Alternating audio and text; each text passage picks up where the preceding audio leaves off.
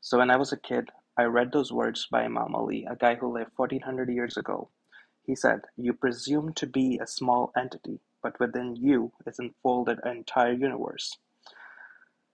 So I saw a video by Neil deGrasse Tyson. He was asked the most astonishing astrophysical fact, and he told that he read a research paper in 1957 written by Margaret Burbidge, and she said that our body is composed of atoms which are formed by the thermonuclear fusion reactions in the stars in the universe.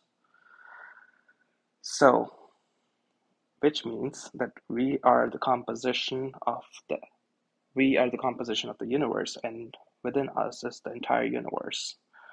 We are not small, we are bigger than that, and Imam Ali said that 1400 years ago.